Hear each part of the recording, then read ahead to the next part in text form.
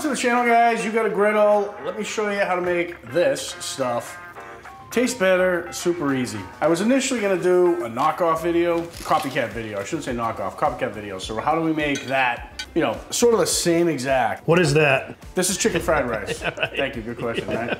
So I went and grabbed some chicken fried rice on my way home today, and I sat there in the supermarket parking lot. I should have fired up my phone and taken a video. You should have. Cause I'm like going through this with a spoon, you know, trying to see what's in it. And I, I'm tasting it, and I'm like, there's nothing special about it. It's just soy sauce. You know, it's the soy sauce and rice. After seeing what you did to it, yeah, that's because apparently that is all it is. so I'm like, why, but why does it taste so good at 1 a.m., right? Yeah. That's really the question. But in any case, so instead of doing a copycat, what we're gonna do is make this at home, but make it taste better, fresher, and not with exotic ingredients, right? I mean, there's tons of videos on YouTube of people making fried rice, yep. and you'll get their counter and you can't actually see the counter. And I'm like, I'm never gonna go buy those 37 ingredients to make one bowl of fried rice. So stick around, we're gonna show you the intro when you come back. Basic ingredients, tasty chicken fried rice. You'll enjoy it.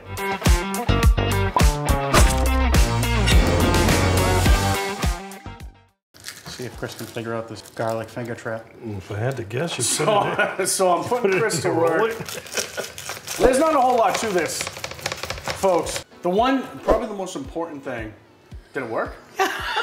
Perfect. Really? Do another one. Do another I, one. I told you, man. I like that thing. You yeah, you tried it at home too? Yeah. Holy I had one of those before, and June threw it out on me. She's like, "You don't need this." Because it takes up so much space. Yeah. Uh, that one not so good. Hold on, let me try it again. Get the get the pudgy fingers working.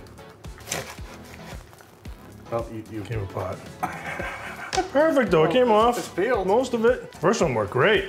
I was gonna toss it, but I guess now I'll keep it. Didn't, um, mean, didn't mean to interrupt Nate. no, no, that's fine. So the important thing is you gotta have cold rice, right? So uh, if you're like me and you forgot to make rice the day before and put it in the fridge. Amateur hour. Amateur hour, it is. This is, uh, It's been a busy day. Stir fry rice hack, number one. Yeah, I cooked the white rice, just plain Uncle Ben's long grain. Cooked it normal, chicken stock, a little extra water, and then threw it on this and chucked it in the fridge for about an hour now. But after that, we're gonna figure out how much fried rice you wanna make, right? Because all the rest of your ratios, your onion, your garlic, everything, just depends on how big a portion you're making. I'm gonna make probably like, I'm gonna say more or less this whole container. Although Jeff's not eating carbs, right Jeff?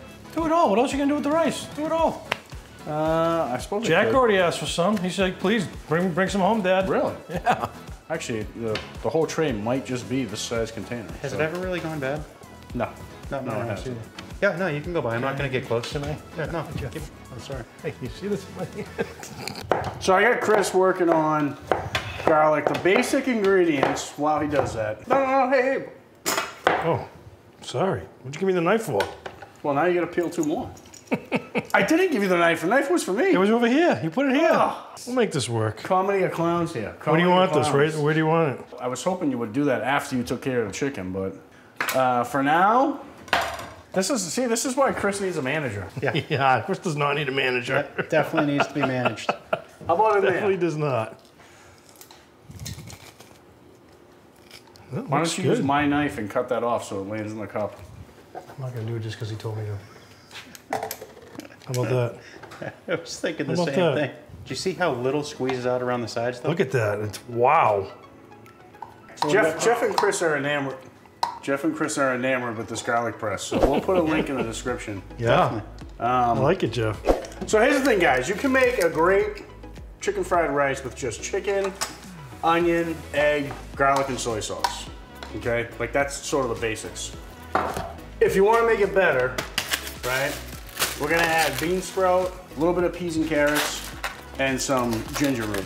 In my investigation of the takeout rice, Jeff, if you'll pan down here, this is exactly what they had. Ratio-wise, a lot of rice, fair amount of chicken, tiny amount of bean sprout, some carrot, very little onion, and I think the single pea speaks for itself. So you should say, you know, you and you had to dig for that. Yes, you, I had you, to dig So he, he, took a spoonful out, a so big spoonful. You, you see Half of that wasn't even in there. All right, so Chris, you're shooting for like that size. One of the important steps is velveting the chicken. Uh, you need velveting We've done it in other videos. If you go back and look at our Chinese spare rib video, basically velveting is using cornstarch and a little bit of water to marinate the meat in. And what happens is some special scientific stuff that basically makes the meat more tender, right? And it's actually pretty quick. takes like a half hour. Not even a half hour, just like any time, 10 minutes.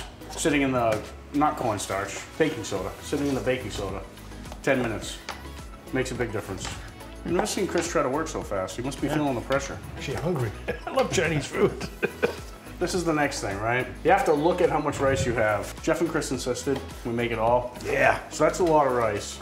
I call that four cups. So the sauce that I'm gonna make, if you look at that and you think about how much sauce do I have to have to coat that, I would typically say you're probably looking at this like thinking about a half of a regular paper cup. Go a little extra.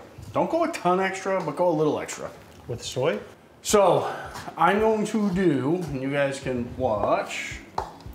I don't like to do straight soy, right? So I cut the soy about 50-50 with water. So that was what, one, two garlic cloves, Chris? Yeah, a little closer to one and a half. So I'm gonna do that. I'm gonna double that with water. Why do you dilute it, Nate? You think Just it's because too it's, too powerful? it's too potent, it's too Yeah. salty. You know, it's, I, I It's not even a double dark, Jeff. I'm not even gonna say, well, I want this, most people don't have double dark in their cabinet, right? I'm gonna give this a couple dashes of fish sauce just to bump up that umami. You don't want it to taste like fish sauce. And then a little bit of the ginger. Don't go strong on the ginger. Ginger is very, very potent. Goes a long way. A little bit A goes little a goes a long. long way. The griddle guys learned that the hard way. Yeah. what you want, what you really want is when, to me, now, I mean, if you love ginger, you can put as much as you want, but what you really want is it to just taste a little bit more savory, a little bit, sort of that other layer of flavor where you go, oh, this isn't just regular rice. a lot of pressure here. Normally we shut the camera off a bunch of times while we do this, but We're, up, we're at the home stretch. I'll hold my coffin then. Nice, nice. everybody's coughing with uh, the amount of pollen out there. Oh yeah. It's brutal. Did you see that meme? Pollen clouds. Someone sent me a meme the other day, and it uh, said I stepped outside for a minute to see how bad the pollen was, and it was like a selfie, and the person was entirely green. Oh, I was I saw one where obviously Photoshop. I saw one where it was a it was a wintertime picture of a, someone snow blowing, but they tinted it all green. so Yeah. the snow blowers are gonna blow it green. That's what it feels like. All right, so when you're looking at that much rice, that's a lot of rice, right? That's all the ginger I'm doing. Um, you can do more if you want, but Tablespoon? yeah, tablespoon, Good size teaspoon. tablespoon, yeah. Uh, but what I'll say is, ginger is one of those things like garlic salt and like smoking meat. You can overdo it. I respectfully disagree. Ginger can be very powerful. Dude, I was at your house when you first tried using the smoker on your grill, mm. and we couldn't eat that food. Yeah, that was pretty strong. Yeah. Do you still respectfully disagree?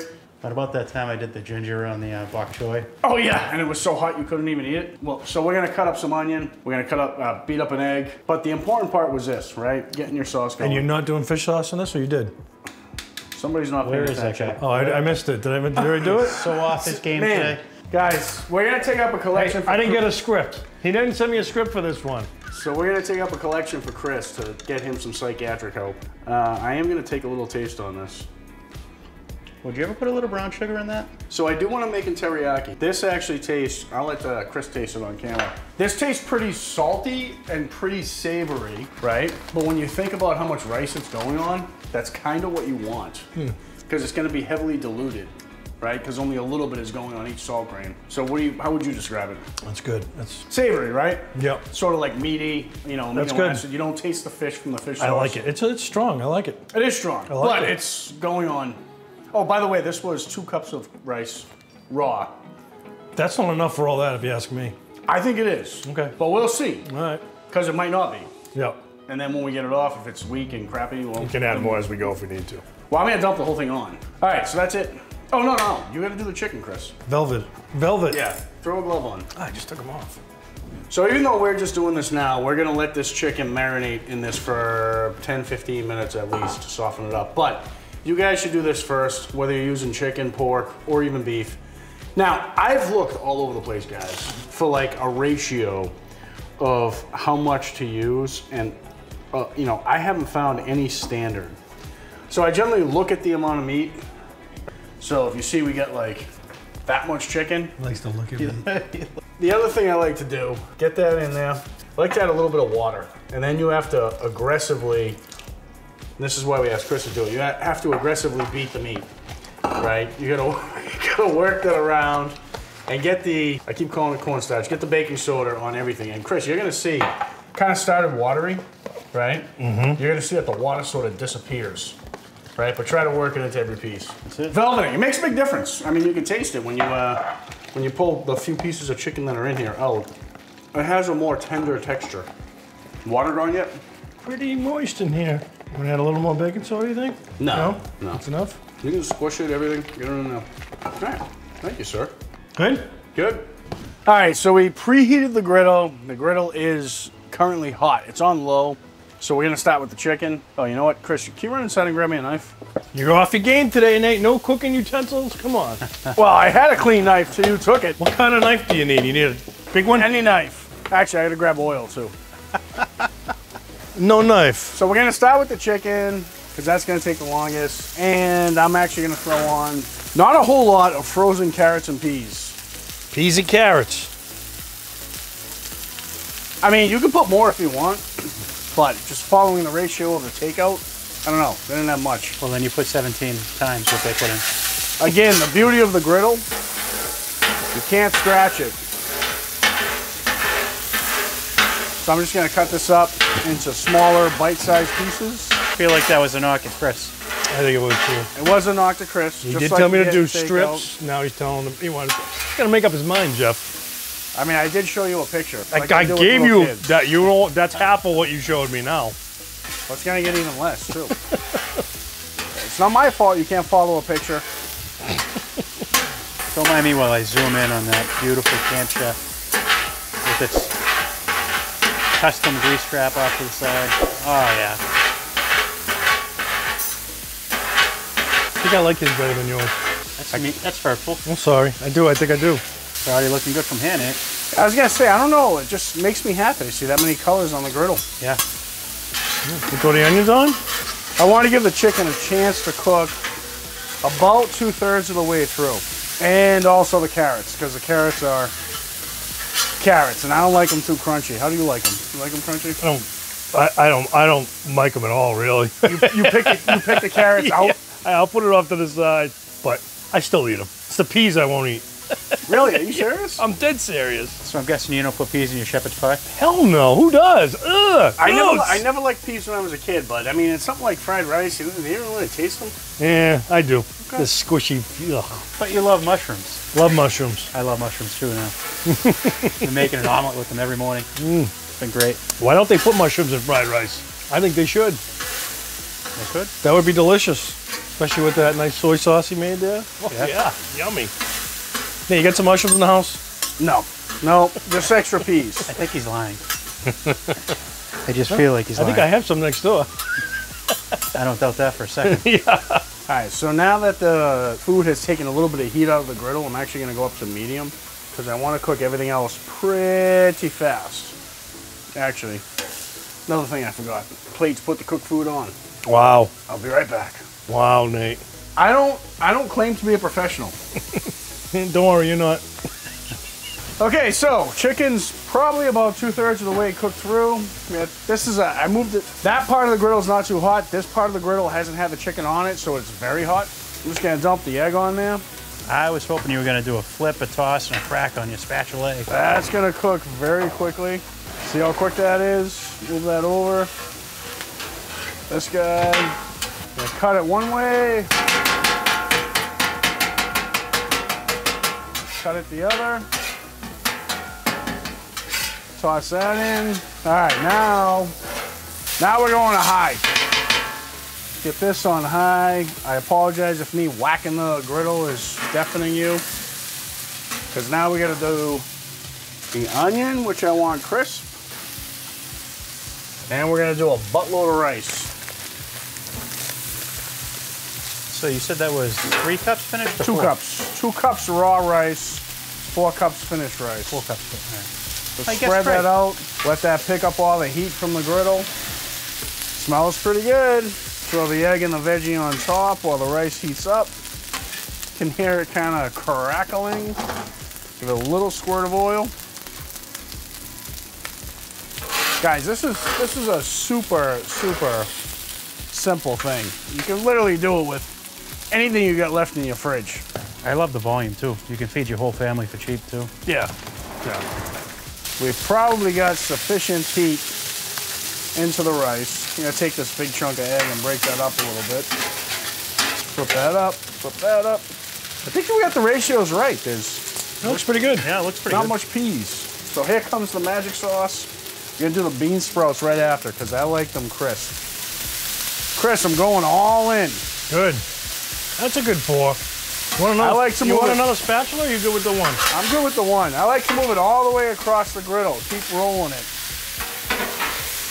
Rolling, rolling, rolling. Looks like it hit the ratio just right. Yeah. Great color. Smells good. Got a nice little Yeah, breeze smell coming that this way. That ginger coming off of there. Yeah. All right, now in the last second or two here, as much or as little bean sprout as you want. I kind of like green sprout, so I'm gonna go a little bit heavy. And again, I'm just gonna roll that into the heat. You like those on your salad? No, I like them a little bit cooked. Chris, you mind grabbing the platter so we can plate this up? The platter I forgot that you so kindly reminded me that I'm off my game. You're getting better.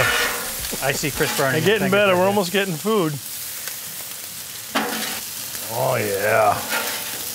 Wow, you really didn't cook it that long either. No, That's gonna have some like. no, good- just enough to reduce the uh, the sauce. I don't want the garlic and the ginger to cook so much that you don't taste them. yeah, nice. Sorry, Chris. And now immediately let's get the griddle go- down to low because there's a lot of starch left on the griddle. That is going to make it a bitch to clean. You can bleep that out. Voila. Nice. And that, my friends, I will tell you, is a better tasting fried rice. And it's better looking too. With ingredients you have in your kitchen. One, two, three. Done. Let's eat. I apologize if you hear me chewing. so, we have a comparison, visual comparison, of the takeout versus this. I would say the flavor difference here, I taste mostly rice and salt. Here, I taste a little bit of everything. Freshness is what you taste. Yeah, freshness. Yeah. Actually what my wife describes as freshness. Yeah. So, it's not overpowering. There's definitely um, some saltiness from the soy. A little bit, but it's, it's, But it's good salt. It's good salt, right? Like not too much. Cutting it with the water is a definite. And the ginger. Spot on. Oh, the ginger comes right through.